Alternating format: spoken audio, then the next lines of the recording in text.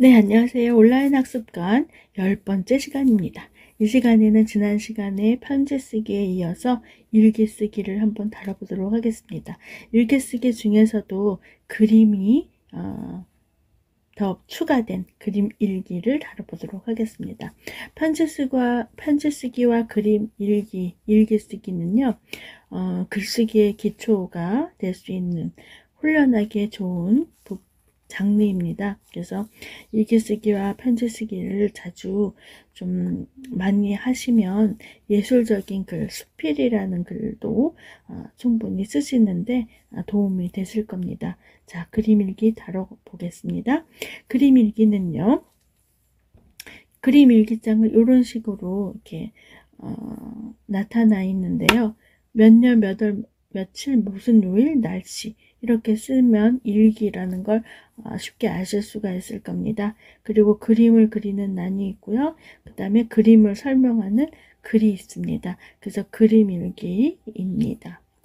그림 일기를 이제 제가 보여드릴 것이고 그림 일기의 그림에 어, 어울리게끔 글을 어떻게 쓰는지도 다뤄볼 것입니다. 자, 그림 일기라는 것은요. 하루 동안에 하루에 일을 쓰는 것입니다. 그런데 하루를 눈 떠서부터 눈 감을 때까지 어, 아침, 점심, 저녁에 모든 일을 일어난 모든 일을 쓰는 것이 아니라 내가 겪은 일 가운데 가장 마음에 남는 것, 네. 아 잊혀지지 않아 너무 감동적이야 하는 그런 내용을 쓰는 것입니다. 뭐 화나고 신경질 부렸고 이런 건 써, 써도 되나요? 물론 써도 됩니다. 쓰셔도 됩니다. 가장 마음에 남은 거면 됩니다. 아, 오늘은 내가 화가 분이 안 풀려. 글 쓰시면 됩니다. 네. 행복하고 즐겁고 좋고 기쁜 일만 쓰시는 것이 아니라 정말 기쁘고 슬프고 뭐 안타깝고 여러 가지 중에서 가장 마음에 남는 거면 됩니다. 대신 솔직하게 적으셔야 됩니다. 허풍, 과장 안 됩니다. 일기라는 거는 어, 하루 동안 있었던 일을 내가 반성하고 성찰하는 어, 그런 목적으로 쓰시는 것이기 때문에 음, 솔직하셔야 됩니다. 그림 일기라는 건 그림이 들어간 일기입니다. 그림만 그리셔도 됩니다. 네, 글 안 쓰셔도 됩니다. 하지만 그림에 대한 설명이 들어간다면 나중에 세월이 지나서 다시 봤을 때 기억을 하실 수 있기 때문에 음, 글을 글로 설명해 주시면 더 좋습니다. 일기 쓰기에 어떤 일정한 형식은 없습니다만 편지 쓰기 같이 그렇게 복잡한 형식이 있는 건 아닙니다만 예, 자유로운 글이지만 그래도 일기를 일기답게 쓰시려면 어, 몇 가지는 기억하시는 게 좋습니다. 먼저 머리에 떠오르는 것을 그리세요. 머리에 떠오르는 것은 잊지 않고 내가 기억할 수 있는 가장 마음에 남는 것 그런 거를 쓰시면 좋습니다. 그 다음에 날짜, 요일, 날씨 그리거나 쓰시면 됩니다. 뭐 날씨 같은 경우는요. 해가 뜬 날이다, 맑은 날이다. 해 이렇게 그려주셔도 좋고요. 또는 해 이렇게 써주시면 됩니다. 그 다음에 흐리다 그러면 구름을 이렇게 그려주시면 되고 구름 또는 이렇게 써주시면 되고요. 비가 왔다 그러면 우산을 이렇게 그려주시면 되고 비 이렇게 써주시면 됩니다. 그럼 눈이 오는 날은 어떻게 하나요? 눈은 눈사람 이렇게 해주시면 되고 아 나 그림 못 그려 눈 이렇게 씁니다. 이렇게 해주셔도 됩니다. 네, 만약에 뭐 돌풍이 불었다 바람이 불었다 그러면 어떻게 할까요? 바람 이렇게 뭐 바람 그렇게 해놓고 바람 이렇게 써주셔도 됩니다. 예. 자, 그 다음에 이제 그림으로 색칠해요. 아, 색칠까지 해야 돼? 색연필이 없는데, 크레몽이 없는데, 색칠 안 하셔도 됩니다. 그냥 그림만 그리셔도 되고요. 만약에 그림을 못 그리는데 어떡하지? 아, 그림 못 그리셔도 상관없습니다. 그냥 웃는 얼굴이다. 그래, 웃는 얼굴. 이렇게 해주셔도 되고요. 뭐, 손이다. 그럼 손 대고 이렇게 그리셔도 되고, 뭐, 손 이렇게 그리, 그리셔도 되고요. 뭐, 하실 수 있는 만큼만 하셔도 됩니다. 네. 뭐, 잘 그리시든 못 그리시든 내 마음만 담으면 되는 것이거든요. 아주 자유로운 글이기 때문에 두려움 없이 하실 수가 있을 겁니다. 그다음 그림을 이제 그리셨으면 설명하셔야죠. 글을 쓰는 글쓰기 연습이라고 생각하시고 하시면 됩니다. 음, 글을 쓰실 때는 어, 한칸 띄우고 쓰는 거 이거는 좀 뒤에 가서 어, 보여드리면서 하겠습니다. 띄어쓰기라는 것은 읽을 때 호흡을 할 수 있는 것이거든요. 그래서 숨을 쉴 때는 한칸 띄었을 때 숨 쉴 수 있는 신호가 되기 때문에 띄어쓰기를 하는 것이고 편지 쓰실 때는 띄어쓰기가 중요합니다. 왜냐하면 읽을 때 다, 낱말과 낱말의 간격을 띄워주셔야지 낱말과 낱말을 붙여 쓰시면 남, 이게 그냥 낱말 한 통으로 낱말인 줄 알고 잘 못 알아보실 수가 있기 때문에 띄어쓰기를 하는 것이거든요. 그래서 띄어쓰기도 한번 해보도록 하겠습니다. 그림 일기라고 하는 것은 어떻게 알 수 있는가? 날짜가 들어가고 요일, 날씨가 있기 때문에 일기라는 걸 알게 되고요. 겪은 일이 있기 때문에 예, 사실이죠 이것은. 겪은 일이 그림에 들어가 있으면 그림 일기인 거고 생각이나 느낌이 들어갔다 그러면 이제 일기라는 거를 알 수가 있는 그 것입니다. 그러니까 겪은 일 써줘야 되고요. 생각이나 느낌이 있어야 되는 것이죠. 자, 문장 쓰기 기초는 지난 시간에 문장 형식을 알려, 알려드렸어요. 그래서 그거를 토대로 한번 연습을 해보도록 하겠습니다. 왼쪽과 같은 그림으로 이제 시작을 한다고 그림 일기라고 했을 때 보세요. 여기 아이가 줄넘기를 하고 있어요. 그럼 손녀딸이 줄넘기를 한다. 누가 무엇을 어찌하다에 맞춰서 문장을 쓰시는 거죠. 요 손주가요. 공차는 아이는 없지만 만약에 공차는 손주가 공차는 거를 기억에 남았다고 한다면 손주가 공을 찬다. 이렇게 써주시면 됩니다. 그 다음에 아들 내외가 이렇게 벤치에 앉아 있죠. 아들 내외가 의자에 앉아 있다. 그 다음에 나는 네 공원에서 운동을 했다.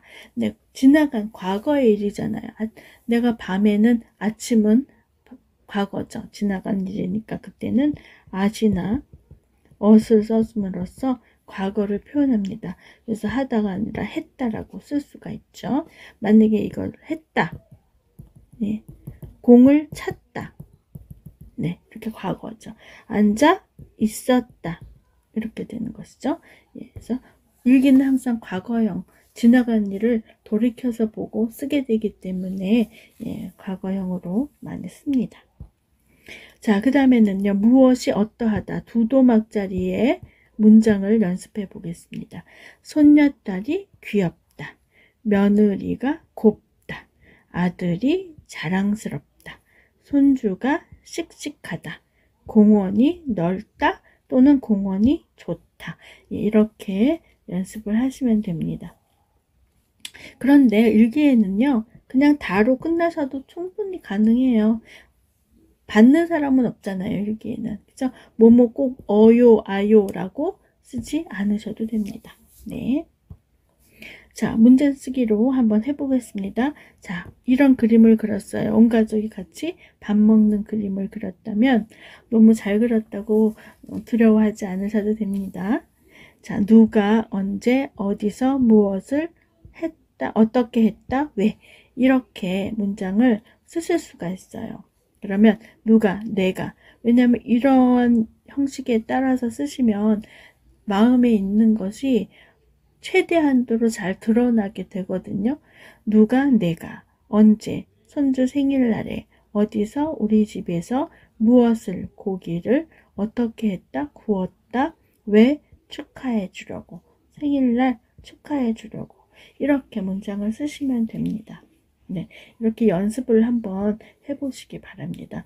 누가 언제 어디서 무엇을 했다 어떻게 했다 왜 무엇을 했다 또는 무엇을 어떻게 했다 이렇게 써보시면 좋겠죠. 자 그래서 그림 일기 쓰기를요 언제 어디서 누구와 무엇을 어떻게 했는가 느낀 점 이런 식의 형식에 맞춰서 문장 쓰기 연습을 하실 수 있습니다. 언제? 아침에 어디서? 집에서 누구와? 뭐 가족과 무엇을? 빵을 어떻게 했는가? 먹었다 느낀 점 즐거웠다. 이렇게 쓰시면 됩니다. 또 언제? 밤에. 어디서? 놀이터에서. 누구와? 언니와. 무엇을? 이야기를. 어떻게 했다? 했다. 들었다. 네. 느낀 점, 뭐, 속상했다. 언니가 되게 속상한 일을 겪으셨나 봐요. 그럼 이렇게 써주시면 되죠. 그래서 이렇게 형식에 맞춰서 문장을 계속 쓰시면 일기가 되는 것입니다. 어렵지 않으시겠죠? 그럼 띄어쓰기는 어디서 띄어쓰나? 언제 띄고요? 어디서 띄고요? 뭐 띄고요? 무엇을 띄고요? 어떻게 띄고요? 느낀 점 띄고요. 이렇게 그 내용에 따라서 예, 느낌을 다르게 해주시는 것입니다. 자, 그러면 옆에 있는 그림에 맞게 설명을 한번 해보실까요? 이거는 같이 식사하시는 거죠. 오늘 낮에 가족이 모두 모여 식사했다. 반찬 다 모아서 비벼 먹었다. 뭐 비벼 먹었다 같이 붙여 쓰셔도 됩니다. 맛있고 즐거웠다. 이건 느낌이죠. 이렇게 쓰시면 되는 것입니다. 겪은 사실이에요. 그 다음에는요. 자, 요런 그림입니다. 예. 아기를 데리고 며느리가 뭘 먹나 봐요. 며느리와 손녀가 전을 부쳤다. 나는 생선을 구웠다. 네. 내가 무엇을 했다. 어찌하다. 설에 차례를 지낸다고 바빴다. 나는 바빴다. 왜? 설에 차례를 지낸다고. 무엇을 어떻게 했다. 어찌하다. 이런 거죠. 이렇게 설명해 주시면 됩니다. 자, 이건 차례 지내는 거예요. 설에 애들이 와서 차례를 지냈다. 애들이 와서 안 쓰셔도 됩니다. 설에 차례를 지냈다.만 쓰셔도 되죠. 며느리가 반찬을 많이 해왔다. 며느리가 뭐 반찬을 했다. 이렇게 쓰셔도 됩니다. 고생이 많았을 텐데 뭐 이거 안 쓰셔도 되죠. 고마웠다. 그냥 이렇게만 쓰셔도 됩니다. 표현 정말 짧게 쓰시고 싶으면 짧게 길게 쓰시고 싶으면 길게 마음대로 자유롭게 쓸 수 있는 글이 일기예요. 자, 또 이렇게 보면 등산 가는 거죠. 친구와 등산을 갔다. 아니면 친구와 빼도 등산을 갔다. 이렇게 쓰셔도 됩니다.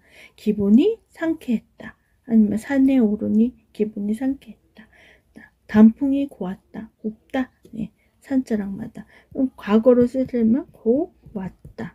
이렇게 쓸 수 있죠? 네. 왜냐면 오가 있기 때문에 고 그죠? 그래서 오, 와, 오다, 아, 다, 오, 왔다. 또 어느 산에 갈까? 너무 좋았던 거죠. 이렇게 쓰셔도 되는 거예요. 아니면 상쾌했다, 뭐, 즐거웠다, 뭐 좋았다 이렇게 쓰셔도 충분합니다. 자, 이렇게 쓴 글을 한번 읽어보겠습니다. 아침에 복지관에서 어디에서 친구와 수업을 들었다. 즐거웠다. 느낀 점. 낮에 극장에서 가족과 영화를 보았다. 재미있었다.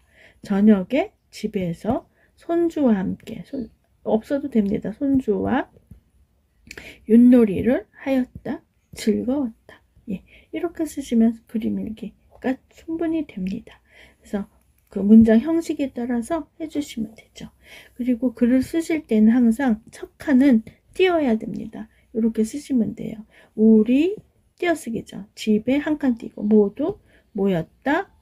이게 온점 찍어주시고 아들이 통닭과 띄고 막걸리를 사왔다. 손주들도 왔다.